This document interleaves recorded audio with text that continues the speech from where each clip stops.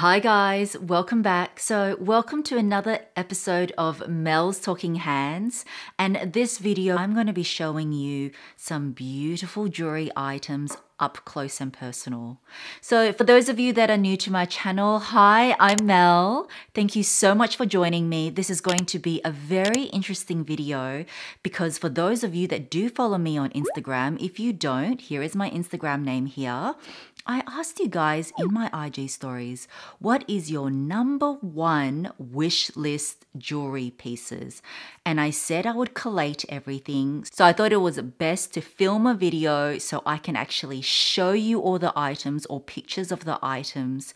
And today I'm going to be telling you what are your top 10 most desired pieces? What is the most popular jewelry brand? Is it Cartier? Is it Van Cleef? Is it Tiffany & Co? So let's get started with number 10.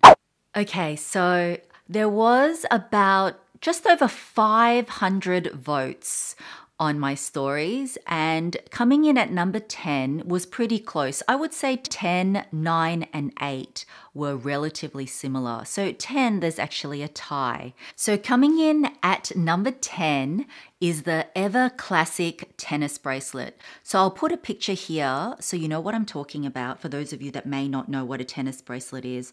But basically it's just a single strand of symmetrical diamonds, so all the same size, and it makes into like this flexible circle. And you're probably wondering, why is it called the tennis bracelet? So basically a famous tennis player, a US tennis player called Chris Evert. she lost her diamond bracelet during the 1987 US Open. So millions of people around the world watched her look for her bracelet on TV, and then the name was born. No particular brand was mentioned because I think a lot of uh, designers and jewelry makers make a tennis bracelet. I think it's a piece that will never go out of style, and I can see why it made this list coming in at equal 10th and I personally was really rapt to see this. And actually you guys had voted. As I said number 10 was there was a lot that were very close, but I was so happy to see that there were quite a few of you that voted for my earrings, and they are the Mel in Melbourne Ana Luisa earrings, and they are my two in one pearl hoop earrings. For those of you that may not know, I designed these pair of earrings for Ana Luisa. They are actually classified as semi fine jewelry because the base of these earrings are actually sterling silver, then it's coated in a thick, thick layer gold. So the best thing about these earrings is that you can wear them two ways. You can wear them with the pearl like this, so it looks more dressy, or you can actually just remove the pearl and just wear them as plain gold hoops. And so I've worn mine so, so much. And I'm so glad that so many of you love it too. But yes, they are available from Ana Luisa. These are also our Swarovski glass pearls, so the same quality pearls that Chanel use, but they are only 159 USD. And no, they don't irritate your ears. I purposely made these ones not to irritate your ears or anything. So if you were interested in these, I do still have my code, which is available, which is just MIM10, and you can get 10% off off that. But thank you so much to everyone that voted for these. I I was really pleasantly surprised and still rapt that they came in equal 10th. So coming in at number 9 Firstly, is the Hermes bracelets. Some of you just said Hermes gold bracelet, and some of you didn't specify, but the two that was brought up was the classic Kelly bracelet, which I love. So this comes in the plain gold version or rose gold, and also comes with diamonds. Or the other one that was brought up was the Hermes H Dunk bracelet. So those two were the ones that were mentioned. Hermes does some beautiful bracelets. I actually don't own any, but I do have friends that own them and they look beautiful stacked up. So that came in at number 9. The next one that came in at number 9 was Tiffany and Co bracelets. And likewise, a lot of you didn't mention the exact names, some of you did, but the most popular names that were mentioned for the Tiffany and Co bracelets was the Tiffany T range, which I've tried on before, which I have considered buying. They've actually come out with a new range of the Tiffany T with all these diamonds. It's very beautiful. Or the other one that a few of you mentioned is also the Elsa Peretti line, which is just so classy and so classic. Coming in at number eight, was actually not fine jewelry. As you know, in the question, I left it quite broad because I wanted to know was it fine jewelry that you were after or costume jewelry? And number eight were Dior earrings. Dior has been such a popular brand, so I wasn't surprised that the Dior earrings made on the list. I do own several, and the ones that you guys most wanted were the Tribales so I've got a pair here. These are black ones, but the pearl ones are very, very popular. I'll put them here. And also the initial pearl earring. I obviously bought M for Mel, but a lot of people have bought, you know, their initials and wear, you know, one on one side and one on the other. So I just thought Dior was so clever to do that. Personalization has been so popular. I know the minute I saw this, I wanted it. I think they've got versions now where they've got all little diamantes in there as well. But yeah, I am definitely a fan of Dior costume jewelry. So that came in at number eight. So coming in at number seven, can you guess? It is the Van Cleef and Arpels Alhambra earrings. Now, I own two pairs. I've brought one down. This is the magic size. So, this is the biggest size, but it also comes in the vintage, which is the original size, and it also comes in the Sweet, which is the smallest size. So this is the biggest, but I love it. And this is in, of course, one of my favorite colors, the green malachite. And Alhambra, what can I say? When you think of Van Cleef and Arpels, you kind of think of Alhambra. Well, I do anyway. And I got this little booklet to show you with the Alhambra line besides the single motif, it actually comes in two motifs. So I do own the two motifs, not with diamonds. And it also comes in three motifs. So, and then it comes in a whole lot of other categories as well, which I will get to. So the Alhambra line was created by Van Cleef and Arpels in 1968. And the four leaf clover, as you can see here, establishes itself as a timeless symbol of luck for the Maison. So that's why it is all, all the precious stones. I mean, this is the malachite, but it comes in, you know, as you would know, the mother of pearl, onyx, tiger's eye, a whole heap of precious stones. And that is why it is a four leaf clover and then adorned with these little, little beads surrounding it as well. So the next piece that tied equal seventh with the Alhambra earrings is the Cartier love ring. Now, I do not own a Cartier love ring, but I will put a picture up here for you. These are so popular and I completely understand why. So, this also comes in versions where it is plain gold. Uh, it also comes in diamond versions, pave versions. It comes in the regular size and it also comes in a thinner size as well.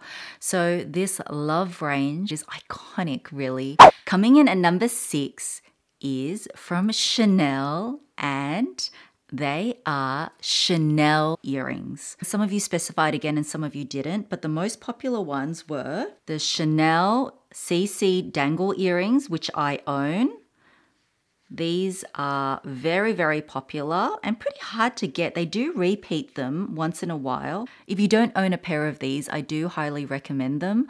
And I actually even own the dangly pair here, as you can see, with all the diamantes as well. So let me just put them down here for you. So Chanel's costume jewelry line is very, very popular. I do own quite a lot of Chanel costume jewelry actually, but I have the last couple of years not bought as much because I do want to invest in more fine jewelry. So with Chanel costume jewelry, the two that were mentioned the most were the dangle earrings and also the classic CC stud earrings. So I've got, this is the one I've got here. Mine has got the baguette cut crystals, but the ones with all the little crystals are probably even more popular, but I just wanted to show you an example. So Chanel costume jewelry, I have to say it is getting very, very expensive. But whether it's the classic dangle or CC or their more elaborate styles, which I also personally love, so I can understand why they ranked in at number six. So coming in at number five is something from Cartier, and it is none other than the Juste un Clou bracelet. So, the Juste un Clou bracelet was actually designed by the same designer of the Love bracelet. And Juste un Clou actually means just a nail. So, this bracelet was designed in 1971. The designer's name was Aldo, excuse my pronunciation, Aldo Cipullo. And as I said, it was inspired by the humble nail. But as you can see, he turned this piece into like a sexy, edgy piece. So it was said that the designer's second home was like a hardware store. That's why he liked all things sort of nuts and bolts and screws. And the Juste un Clou is a very cool piece. I would say it's pretty iconic as well. And it's great that guys can wear them, girls can wear them, and it can be dressed up or down. Juste un Clou also comes in a slimmer version, which I think I personally prefer. It also comes with pave and it comes in the regular size and, and it even comes in a variation where it wraps around your wrist a couple of times. So lots to choose from. Next up at number four, four and three were very close. They're from the same brand. I think you guys may guess. It is from Van Cleef and Arpels. You guys love this piece.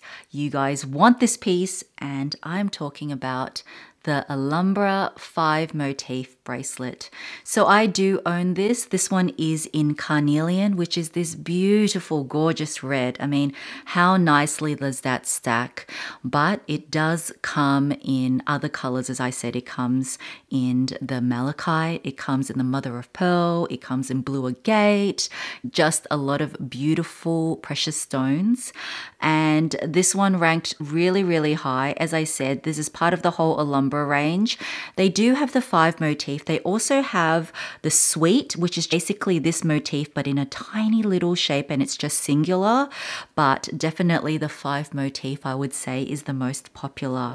And coming in at a close third, a lot of you said the Van Cleef and Arpels Alhambra again uh, necklace that makes up of the 10 motif and then the 20 motif and also the single pendant. So the single pendant can come again in the magic size, it can come in the vintage size, and I believe it also comes in the Sweet size. And the necklace or even just the single motif Alhambra pendant made up about 10% of the vote. So that's pretty significant. Okay, so what do you think came in second place? Now, some of you may argue, hmm, is that a jewelry piece? And I would say it's kind of like a jewelry piece. And what am I talking about? I am talking about the Rolex watch. And I think it is kind of like a piece of jewelry. I mean, they do call some watches jewelry watches. And for guys, I guess it's like their piece of jewelry. So many of you uh, voted Rolex. I didn't expect it to be in second place, but I do know Rolex is so, so popular. So I do own one, and my version is very sentimental. It is passed down from my late mother in law. So she took such good care of this. I don't even know the size of this face. It is very, very small, but it's very delicate and it actually does suit my wrists quite well. I didn't even have to adjust it and it sits sort of perfectly on my wrist, as you can see. And I love the diamond indices. It is just a very, very classy watch, very much like my late mother in law. So, in terms of what you guys wanted and voted, the most popular was definitely the Date Just. I mean, this is a ladies' Date Just, but a lot of you just said Date Just. and also of course, the Submariner. So I'll put some pictures of the Submariner. So think the Pepsi, the Cola, the Hulk, and I would say the most popular, most wanted watch at the moment. I don't even know what the nickname is called, but it is like the updated version of the Kermit. So it's got the green uh, Cerachrom bezel, I think that's what it's called, and it's got a black face. So I know hubby would love that watch. If any of you know where I can get one of those watches, please let me know. I would love to get hubby one. But yeah, the markup on them is like crazy. They're kind of like Hermes bags at the moment, those submariners. So yeah, I think a lot of you love Rolex watches. And in terms of percentage, 15% of you wanted a Rolex watch.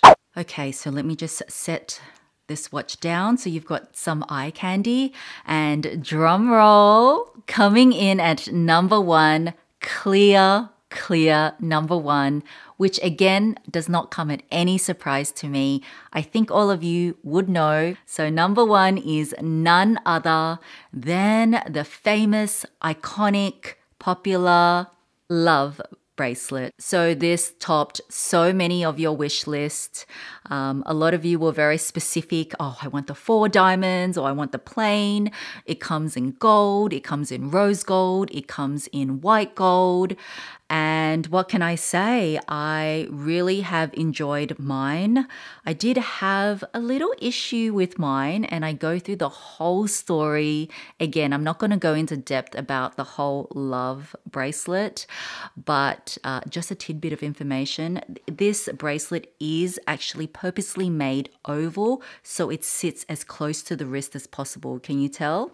This also was created by Aldo Cipullo he did really well. He designed two fabulous, you know, bracelets. And yes, what can I say about this? I still really enjoy mine. People love them. They buy multiples and stack them up, but Again, they come in plain, they come in diamond. The version I have has the four diamonds. It comes in the pave, which is just complete diamonds, which does cost quite a penny, but it is absolutely beautiful. And a whopping 22% of you voted this as your number one wish list item. What did you think of the list? I have to say, some were not any surprises to me. For example, like the Cartier Love range or the Juste un Clou bracelet, and also the VCA Alhambra range. So I was surprised that Tiffany and Co. did not rank higher. I know it is such a popular uh, designer brand. Personally, I actually hardly own any pieces from them, but I kind of thought it would rank higher. So, what did you think, guys? Do you agree with the list? Please comment below. Uh, what is your number one designer wish list jewelry piece that you would absolutely love to add? For me, mm, I think I may want to add another Van Cleef and Arpels piece, but I definitely want to explore some of the lesser known brands that I don't think were mentioned at all in terms of your votes. And the ones, and I've said this before, the ones I'm considering is maybe Chaumet or maybe Piaget. So that is mine anyway. So that is it for today, guys. Thank you so much for everyone that voted. I thought this was a fun video to do. I wanted to show you up close and personal what your most wanted pieces were. And to answer your final question, what is the number one most wanted, most wish listed brand?